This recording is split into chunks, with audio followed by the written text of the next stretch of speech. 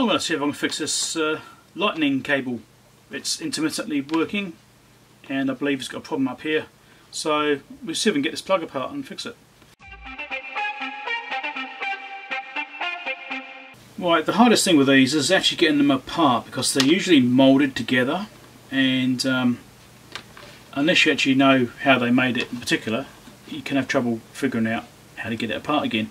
So it's got this aluminium sleeve in this particular case, aluminium sleeve here, which might just be pushed over. So I'm going to try and see if I can slide that off this way. That's my first instinct. You have this moulded PC, you can actually see a little dimple just there if I get closer. So you can just see maybe there's this little dimple just there on the side. That's the injection mould gate. That's where it's injection moulded and that's the gate which goes into it. So this is moulded in place around the cable. Right, there's two there, so it might actually go. There might be like a chain of them and I do a bunch of them at once.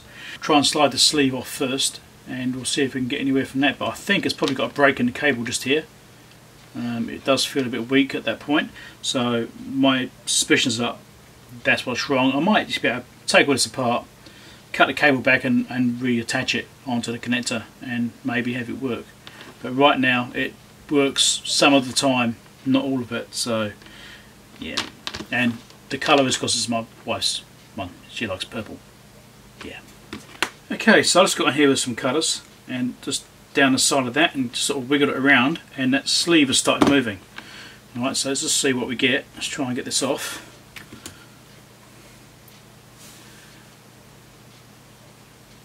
Come on, keep moving.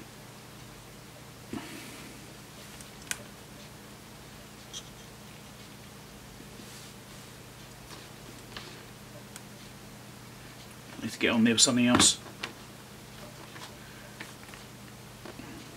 It's still moving. Okay, there's the sleeve off. So that's the first part. Now this is indeed moulded over in place. And it's also quite a rigid plastic, so we're going to have to chip away at this. So as far as getting this back together again in future, um, it's not going to be the same. So what I could either try and cut it away in pieces with this, or I can try and slice it with a knife and see if I can peel it back. So I'm going to try that approach first.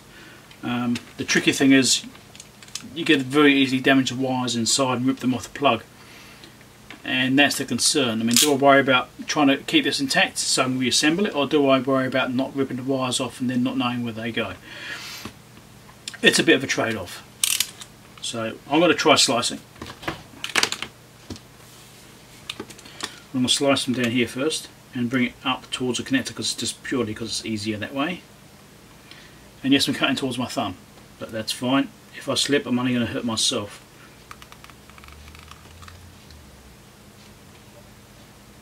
Okay, do another slice.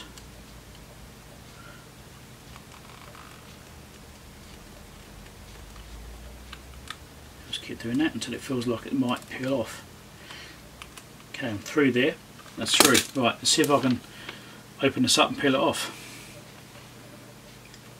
We might get lucky. You see it starting to open up here? Right. There's the inside. Right, now I'm going to slice into here with these just to open it up. But it's moulded around that part as well, which doesn't help.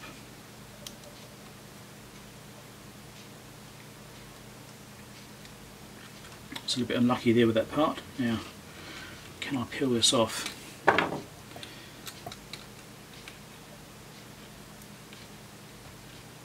not looking great, I have to say. It's very well attached.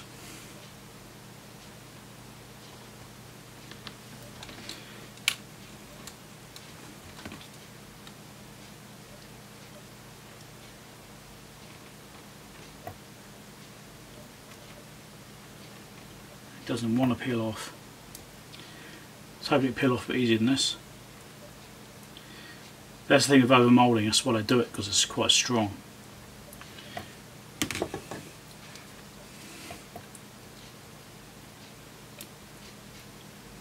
It kind of wants to go but it's moulded over everything.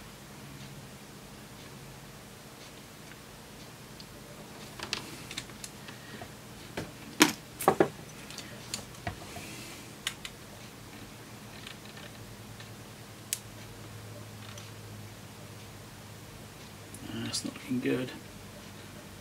Lifting that part up as well. I think this may be a no-go. Anyway, this might be a what's inside a lightning connector. The part's lifted straight off the board. So that's that side. And there's that chip which I've dislodged, which I can I can't really attach not to worry about that. Sort of thing I can fix myself. But um, all the wires on the other side now, because it's over moulded, it's going to be a problem I think. Get this chip out of the way before I lose it. That is still fixable.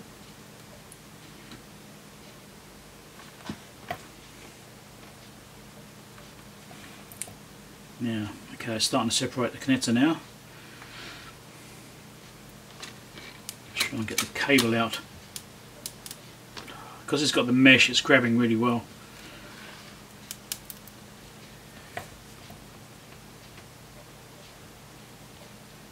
What I don't want to do is rip the wires off, but that's probably what's going to happen.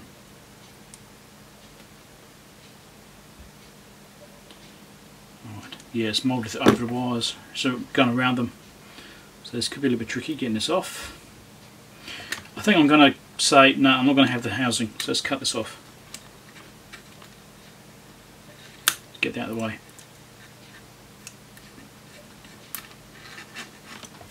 I was going to try and salvage it, but I think that's not really practical after all.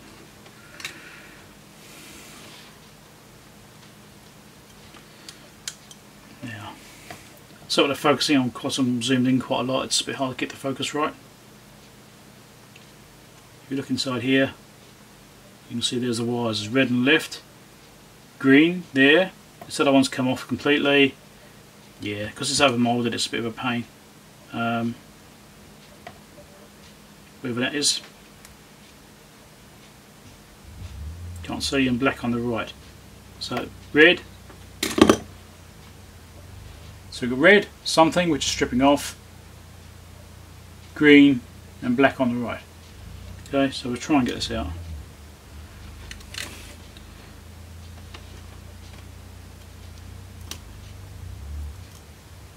The wires are. Let's just rip that off. Now,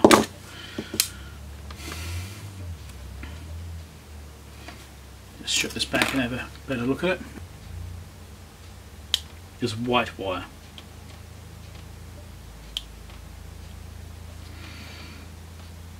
Right, so there's this, this shielded as well, yep.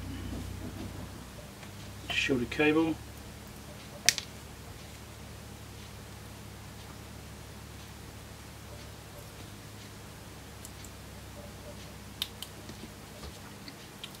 And there's the white wire there, which has come off completely, has ripped the pad off the board as well. So that's a bit of a pain. Um, I may still be able to fix it if I can trace where that pad goes to. This like goes to a via which goes through the ball to the other side. Yeah. this is going to be a pain, alright. But yeah, the pad's ripped off when I was trying to get that sheathing off. And I can see not much at all actually. There might be a trace count there. If I can see it, I might be able to get a wire onto it. Okay, so as close as I can get to it, this uh, lens and on here. So I don't even see it, but there's the pad and there's a little wire trace. The trace is actually lifted off the board. Just see it on top of my fingernail there, hanging off. So the trace which goes up to the connector is lifted off as well, along with the pad. So Fixable, yeah, if I really want to put the time into it, that's doable. And if I flip it over, you can see this side here where that chip was. Now, I'm actually suspicious that that chip may be um, part of the problem anyway. Because it did seem to be off that board awfully easily. So I'm wondering if maybe the um, the soldering on those pads where that chip was just here, those six pads, um, was a problem anyway. So Unfortunately, this looks like it's not going to be fixable in this case. Sorry to disappoint you, but um, usually it'd just be like a broken wire inside here and if you can get this off without damaging the, the wires and stuff unlike this case then you can probably just cut it off and reattach the wires if you're good enough at soldering this is pretty small stuff right? You know give you an idea you know scale. Here is my soldering iron tip. This is quite a small one alright so I can actually get in there with it and do it alright so it's fixable. If, if you're good at soldering you can do it. But you can see the actual manufacturing quality of this as well is a bit yeah.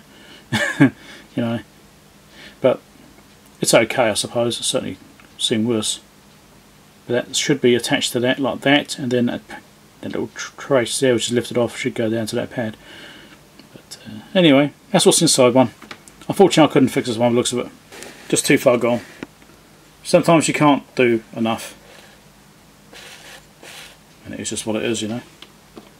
So, thanks for watching. Hope you found it interesting anyway.